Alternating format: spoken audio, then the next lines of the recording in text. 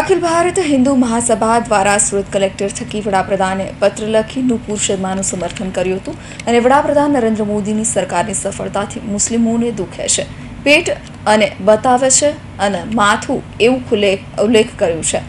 આ સાથે જ ભડકાઉ ભાષણ કરનાર નુપુર શર્માને સમર્થન કર્યું હતું અને દેશમાં અરાજકતા ફેલાવનારાઓ સામે પગલાં લેવાની માંગ કરી હતી.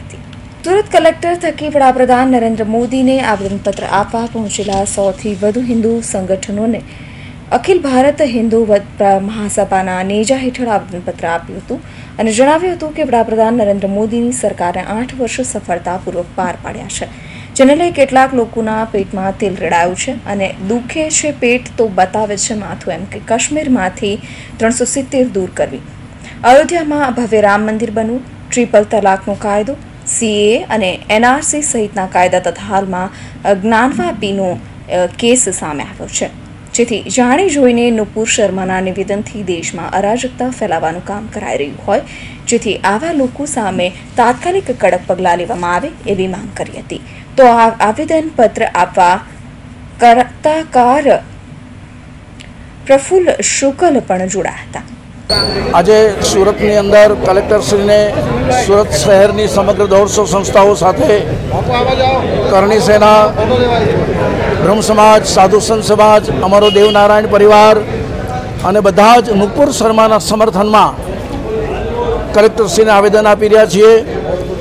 નુપુર શર્માએ એવું તે શું કરી નાખ્યું?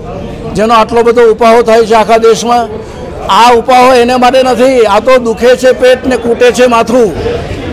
જે લોકો હિન્દુસ્તાનની શાંતિને સહન નથી કરી શકતા, જે લોકો હિન્દુસ્તાનની અસ્મિતા અને ગૌરવને સહન નથી કરી શકતા, એ લોકોની આ એક ચાલ છે. એની સામે અમે વિરોધ કરીએ છીએ અને કલેક્ટરશ્રીને આવેદનપત્ર આપીએ છીએ કે નુપુર શર્માને ન્યાય મળવો જોઈએ. ભારત માતા કી હાલ તો નુપુર શર્મા સામે ફરિયાદ દાખલ થઈ હોવા છતાં કોઈ ધરપકડ કરાઈ નથી અને તેને લઈ દેશના અનેક વિસ્તારમાં હિંસક દેખાવો થયા છે.